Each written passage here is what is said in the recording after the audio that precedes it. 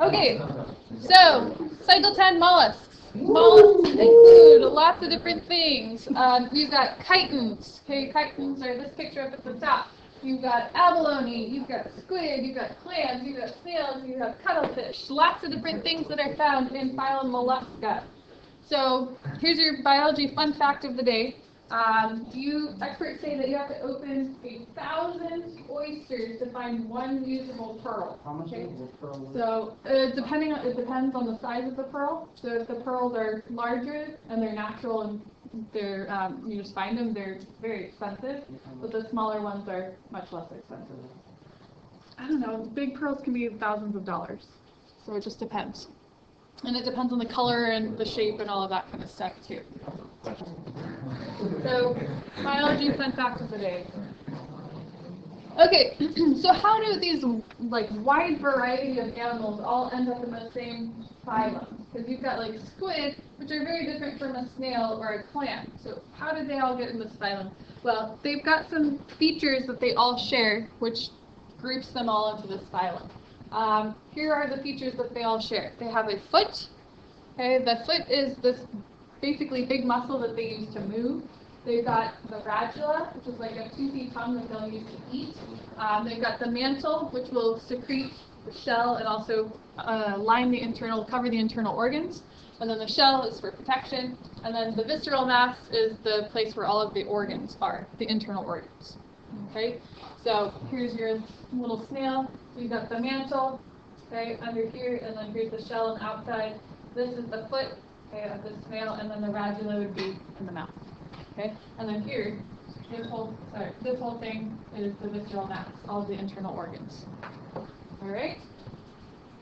So other things that mollusks share, they'll have bilateral symmetry. Okay.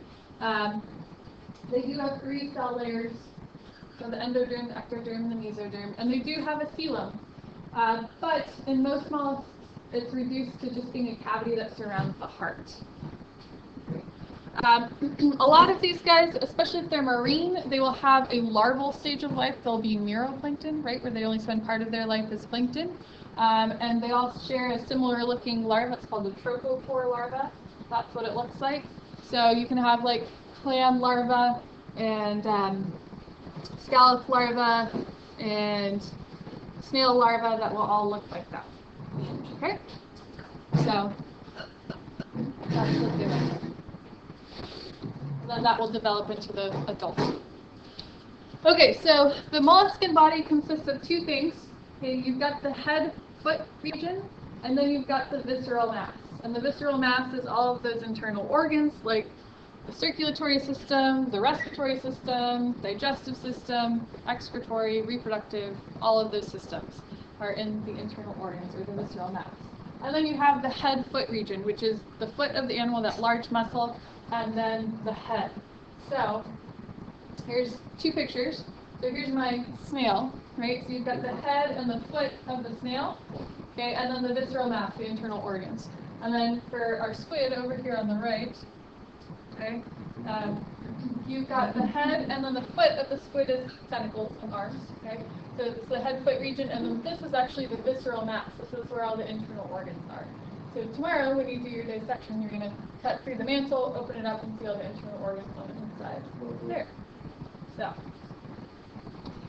Okay, so let's look at the different characteristics of the phylum. Um, the foot is a large muscle that they use for locomotion. That's the main thing that it uses it for. To move.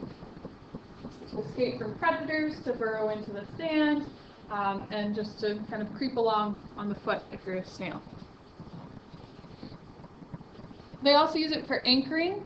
So um, some kinds of animals, ga- uh, gastropods and stuff, will live like in the intertidal zone or close to the intertidal zone where there's a lot of wave action. And so they're going to want to kind of stay in place and not get swept out to sea where they'll die. So they use their like little foot as a suction cup and suction onto the rock so that they don't get washed out to sea. So they'll use it to anchor in place, or they'll use it for predation.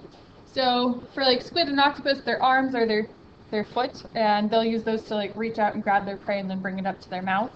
Um, whereas like we've got things like a moon snail that has this big giant foot that it'll use to actually wrap around clams and prevent the clam from getting away, and it eats the clam. A moon snail. Yeah. Um, they've got a big giant foot.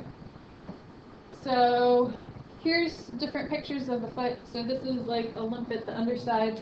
So this part right here, that's the foot. Okay, um, and then this is actually how a clam digs. So this is its foot. It'll stick its foot out from between its two shells, um, and then like create like an anchor at the base, and then pull itself towards that anchor, and then stick it out and create the anchor and pull it. So it digs into the sand that way. Um, all right. The radula. So the radula is a toothy tongue. So it's a tongue that has teeth on it. Um, and it is used to obtain food. Use it to eat. Um, how many of you have been licked by a cat? Right? And you feel like the, the roughness of the tongue? A radula is kind of like that. But depending on what the animal is eating, um, the teeth on that tongue will actually be different. Um, so, like, we actually have, like, the moon snail will have big, sharp teeth on its tongue in order to burrow through shells of clams, whereas, like, limpets and gastropods, like snails, will um, be moving around and they'll have, like, flat teeth that they'll use to scrape algae off of rock. So, the radula is a toothy tongue that they will use to eat. Bivalves don't have one. So, bivalves, like clams and mussels and oysters and scallops, they don't have radula because they're filter feeders, so they don't need one. Um, but everything else does have one. And they can be toxic, like the cone snail can have a toxic radula. So here's the, the radula inside the mouth, okay? Um, and so if this was like a snail, it would it could use this radula to like lick algae off of rocks. Um, what's cool is that these teeth, if you're a snail that's licking algae off of rocks, they're going to get dull, right? And so in order to keep feeding, you need to replace those teeth. And so they create teeth back here in the radula sac. Um, and then as these wear down, they fall off, and then these move forward and kind of like a conveyor belt and pop into place. Mm-hmm. Exactly. So their teeth never get dull, or if they do get dull, they fall off. Right? So they can keep feeding. So here's pictures of radulas. So um, this is the underside of a limpet. Okay, so see this big white thing right here? That is the foot of the snail, or the limpet. Um, and then here's their mouth. Okay, and then inside of there, this would be their radula. Um, limpets walk around licking algae off of rocks, so they don't need big sharp teeth. Theirs are much more flat, used for kind of like scooping algae up. Okay, um, whereas the moon snail, okay, that eats clams, this is its radula. Can you see like the actual like teeth on there? Yeah? Yeah. Okay, so they're going to use that um, to drill through the holes of clams. So they take their big giant foot, wrap it around a clam, and then use this radula to burrow through the shell and eat the clam. How many of you have been at the beach and found like a little clam shell that has a perfectly round little hole through it? That's a clam that was eaten by a moon snail. Okay, so and then it washed up on shore. What? So why are they like empty? Yeah, because it's dead, so it's just the half of the clam. Yeah. Um, so they need big hefty teeth on there in order to feed, right, and burrow through those shells. This is a cone snail. Um, so a cone snail has this thing called the proboscis that it sticks out, and it looks like a worm, fish. And so fish are like, doo doo doo, ooh, worm, food. So they swim over to the proboscis, and then out of the proboscis comes this. This is the radula of the snail. It's like a harpoon full of toxins. So doo doo doo, swim over to the worm, and then you know spear in the face, and then you're paralyzed and you get eaten by the Where's snail. the, So. the snail on the picture? So the snail is back over here, um, and then so the fish swims up, gets stabbed, and then it is paralyzed and gets pulled into the mouth of the, the snail and How eaten. big is that that thing? That's you know, it's a little fish. Some of these, will, some of the cone snails will be bigger and they'll eat larger fish, but their mouth actually can go pretty wide and they can eat pretty big things. Like an anaconda. Kind of like an anaconda, yeah. Are fish that dumb to like swim into a spear? stupid. It doesn't look like a spear to them. It looks like a worm. So they're like, ooh, food. And so they swim over there, and it's actually a cone snail proboscis. And then they die. That's the radula.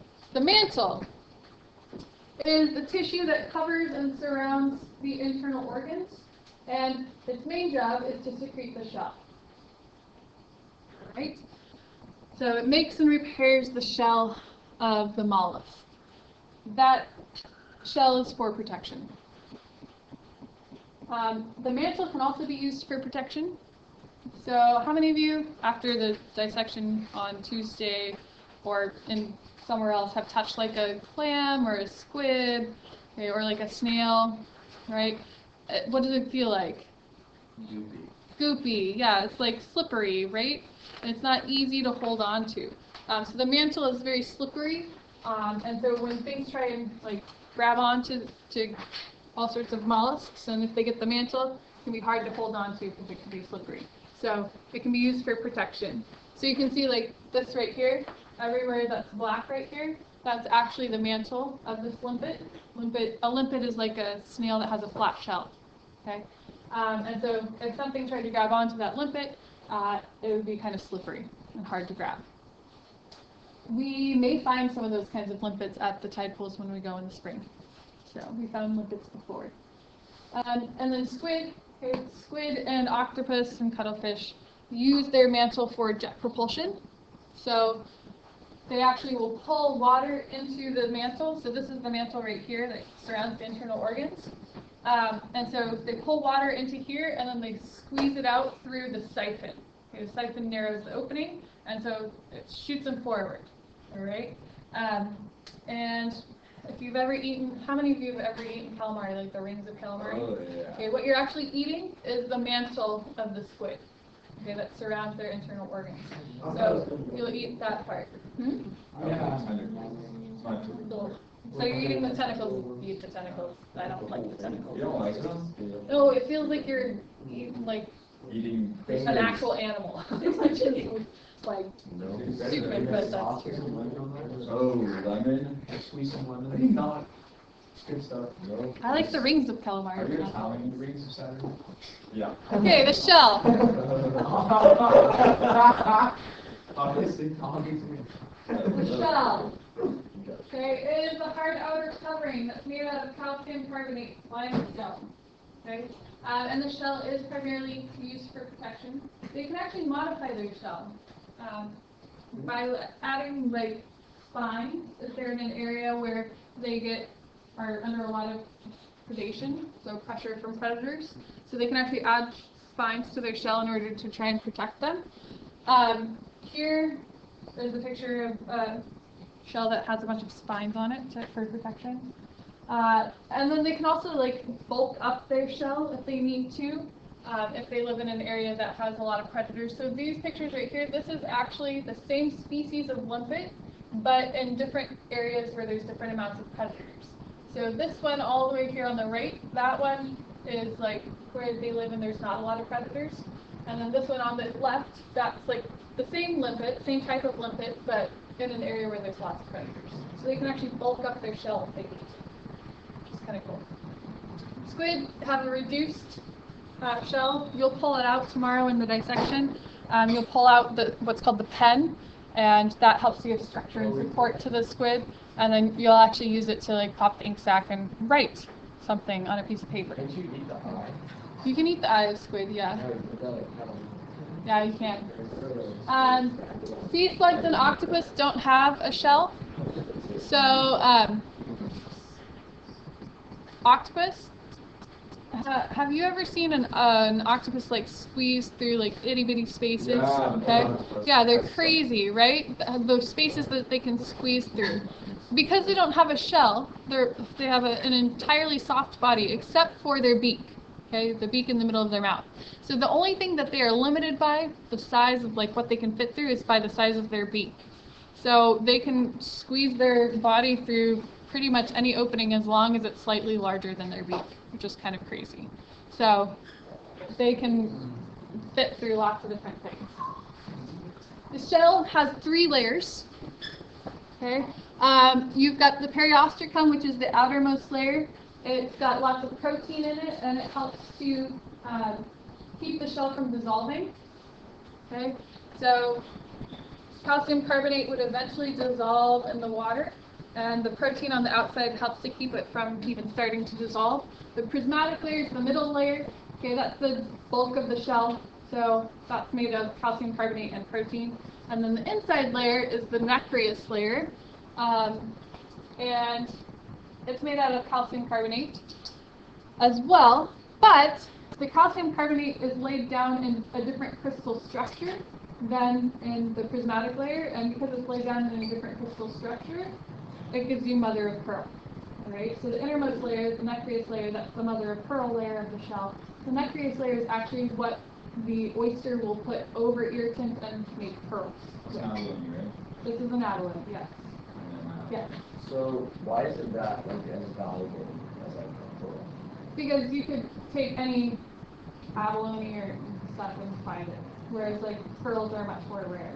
Like even if it's like more intricate or like bigger, it's still not as valuable. Not as valuable, no. Are they valuable at all? Yeah, oh yeah. So abalone were um, close to extinction in some areas because they were hunted for the mother of pearl and for their meat. So Yeah, like a some are- hundred dollars a pound or something? Something like that, yeah. Like not farm. Yeah. abalone? Yeah, they're super expensive. So, but that's the nacreous layer on the inside. Um, I'll pass this around so you can look at it. You can actually see the three layers of the shell because um, part of this is it's, it's dead, so part of it's kind of um, been worn away. So you can see like the brown, like outermost layer, and then the calcium carbonate, the white layer in the middle, and then the mother of pearl. Okay, so you can see the three layers. Yeah. So it's not like um like an animal moved into the shell. So here's the periostracum on the outside, the prismatic on the middle, and then the nacreous layer, and then the mantle that secretes that shell.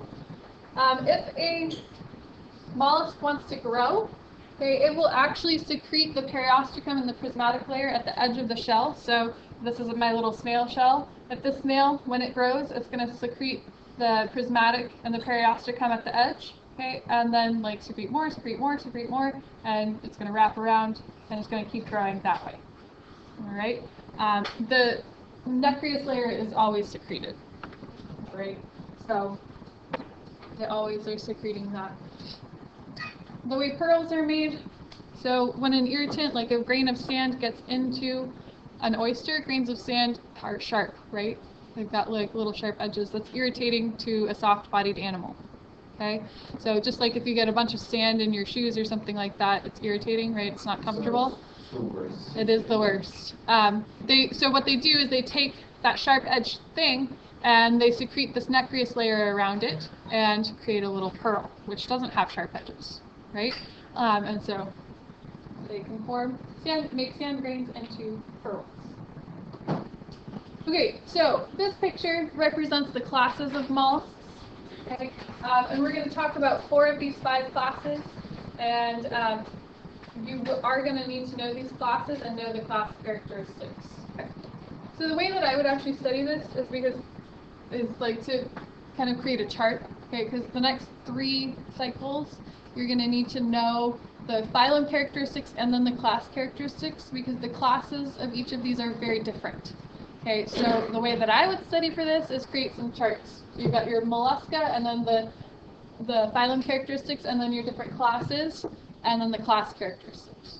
All right, so I would, that's how I would study for this. Um, so this picture represents the classes. So you've got bivalvia, those are scallops, oysters, mussels. Okay, um, you've got polyplacophora, which are chitons. Okay, gastropoda, which are snails, limpets, abalone, and cephalopoda, which are squid, octopus, cuttlefish, nautilus, that sort of thing. And then the last one, the one we're not going to talk about, are tusk shells. Um, they're a little bit more rare, so we're not going to talk about them. So, let's look at a couple of them. Polyplacophora. Okay, polyplacophora means many plates carrier. So these guys actually have eight shells on their back, many plates, so many shells, essentially. Um, and so they've got eight shells on their back, and then their mantle surrounds their shell. Um, and so the things that you would find in this class of mollusks are chitons. Okay, um, here's what they look like.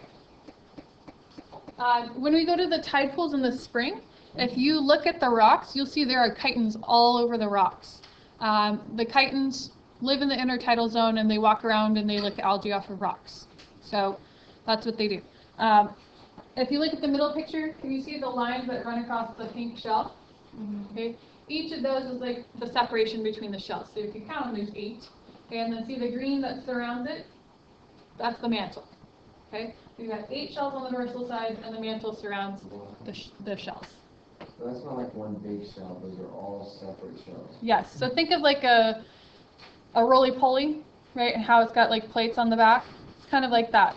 Now, a roly-poly is an arthropod, which is different, but it's got like kind of the same concept. Like one shell broke off, would it like regrow or? Um, it would maybe. That's probably going to be doing some a lot of damage though, so maybe not. Yeah. Um, I remember I saw like this thing, like an old fossil, Uh huh. and it looked exactly like the thing in the middle, but it was like brown, obviously. Um, Trilobite. so these things really like, I've been around for a long time. Yeah. Um. Um. Next class is gastropoda. So gastropoda means stomach foot. Okay.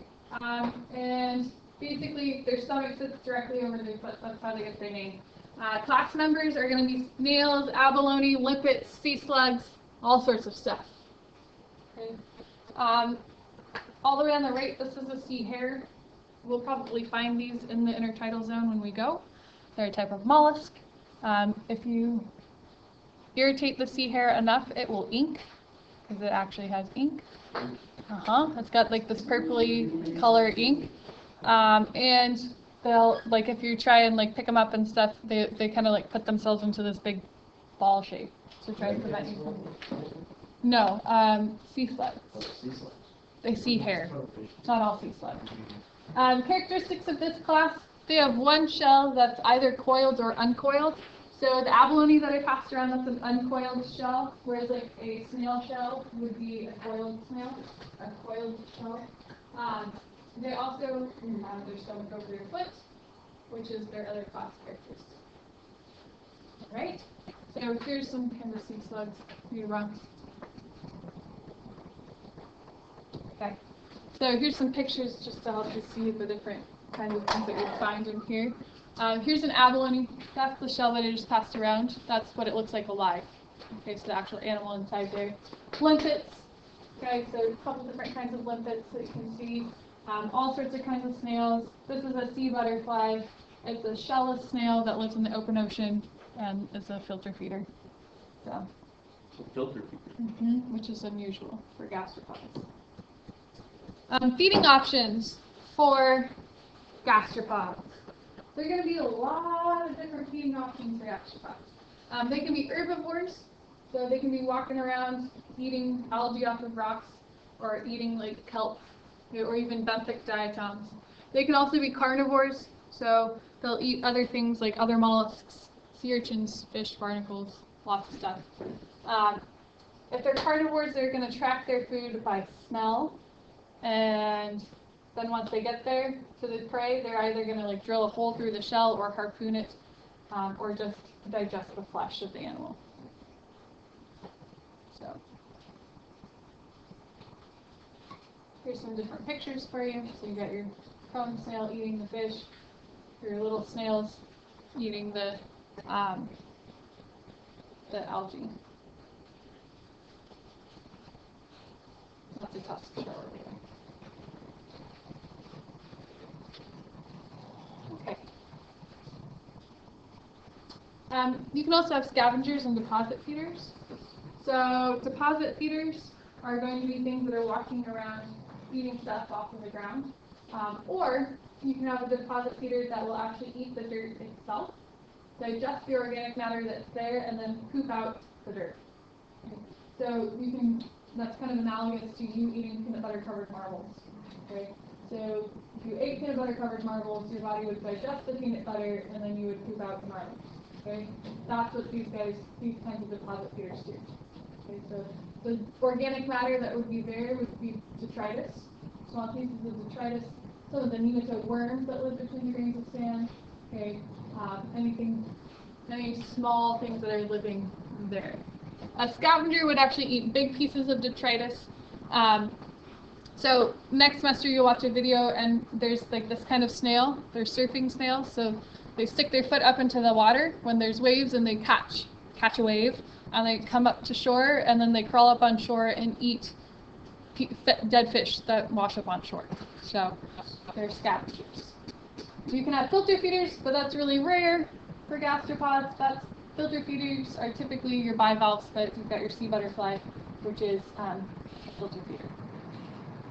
So, those are the kinds of feeders you could have. Nudibranchs are gastropods that don't have a shell. And nudibranchs are really pretty. So they have really, really bright colors and they have bizarre shapes because they have gills on their back. Right? And nudibranch means naked gills because they have no shell to protect those gills. They've got their gills on their back. Their gills are called cerata. Um, and they're all of these really, really bright colors. The reason why they are bright colors is because they're poisonous. They're not poisonous because of themselves. They're actually poisonous because of what they eat. So they eat cnidarians, which have stinging cells, right? And so when they eat cnidarians, they're actually able to keep those stinging cells from firing. Um, and then they take those and they stick them in the, the tips of their cerata, and you, when you touch a nudibranch, you can get stung by jellyfish. So, kind of cool. So here's what they look like. So weird looking. So these orange things on the back, those are their cerata, and so that's where gas exchange is going to take place for them. I got Um, sunburn on this. Yeah, that's depending on what they've eaten, it can be fairly painful. Yep. They're not they're not pleasant. Um, here's another kind, and then a couple more pictures just because they're really pretty. They look pretty, but they're deadly. So, The one on the bottom right is really cool. yeah. right? So that's pretty cool. So.